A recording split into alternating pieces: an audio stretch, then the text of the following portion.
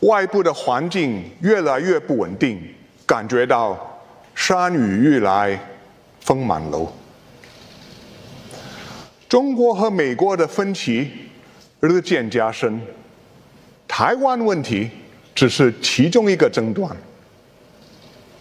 另一个影响全球安全形势的是俄罗斯对乌克兰的侵略，这导致俄罗斯和许多国家，尤其是和美国以及北约国家产生了深刻的矛盾，而这一切都对新加坡影响深远。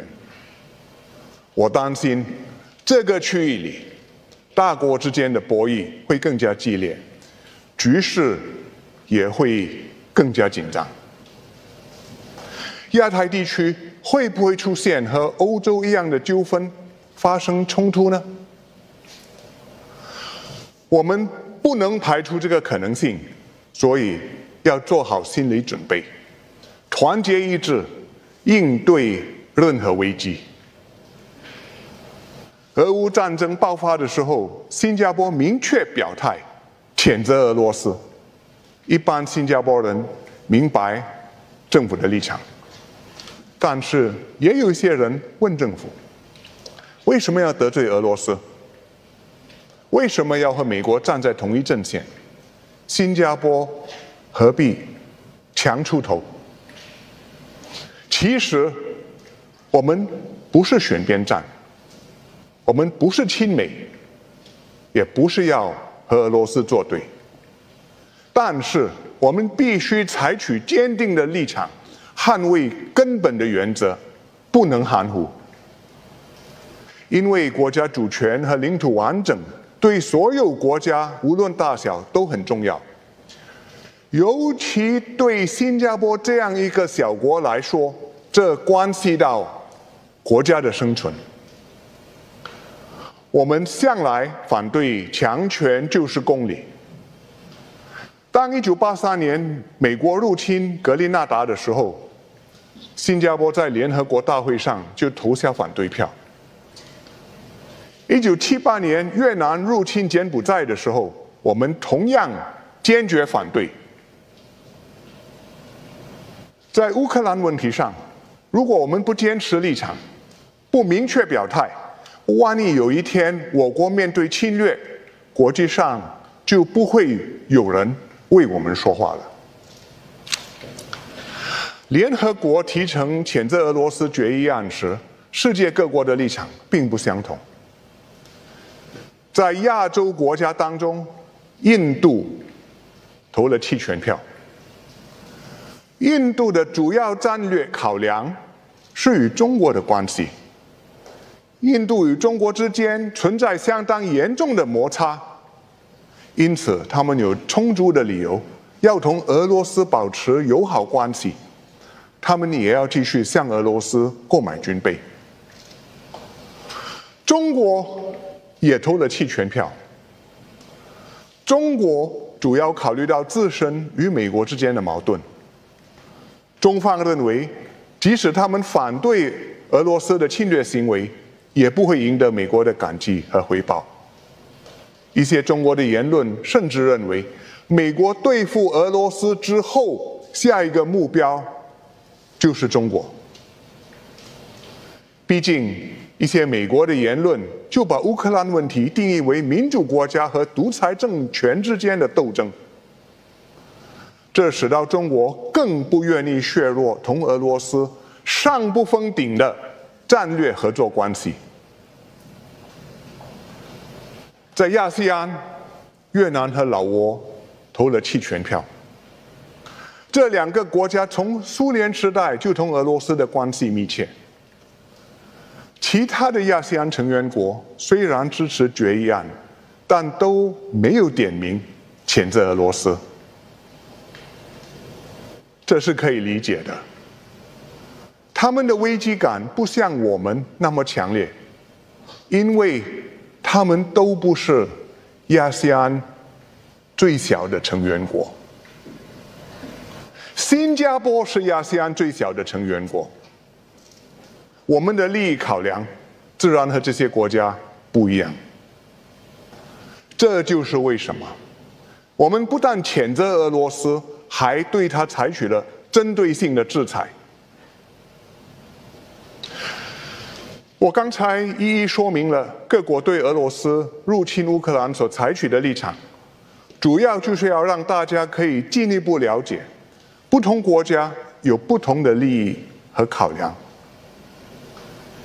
我们从社交媒体，例如 WhatsApp、Telegram、Facebook、微信等，获得各种信息。我们可能以为这些信息都是真的，都是可信的。其实，有些信息是别有用意的，想要影响我们的立场，甚至破坏民众对政府的信任。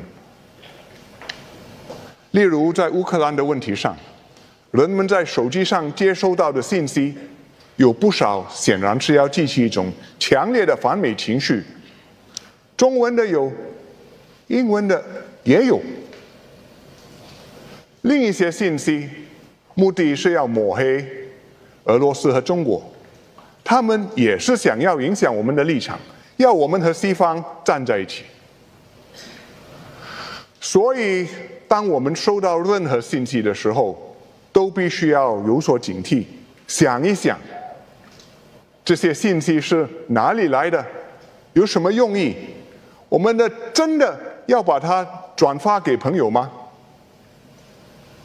我们应该先弄清事实，不要照单全收。我们必须防范不良外国势力的干预，不论它来自哪一方，这样我们才能够保保障国家的主权和独立。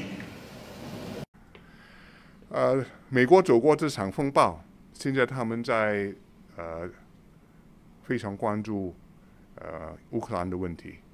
呃，战争还在继续中，呃，我们已经采取了很明确的立场，因为对我们来说，这个是一个很关键的、关乎国家存亡的呃基本原则，那就是一个国家的主权、的领土完整的独立，不可以让其他国家没有理由的被侵犯，更不能够由其他国家因为历史错误或者。是疯狂的决定，或者是不合理的旧的决定，被以质被质问、被挑战。如果我们接受这样的一个呃这样这样的一个呃实际的呃呃呃国际规则的话，我看对新加坡，并且对其他许多国世界上许多国家，都会造成一个新的危险。这个不是选边站，这个是维持国家的利益，捍卫一个基本的国际原则。新加坡一向是秉持这个原则，原则，所以在联合国多年来，每几年都有这样的情况会发生，不同的国家会发生战争或者某个国家侵犯另外一个国家领土的事件。那我们每一次都维持一贯的政策。呃，以前柬埔寨被入侵的时候，就是七八年，我们的立场也很坚定。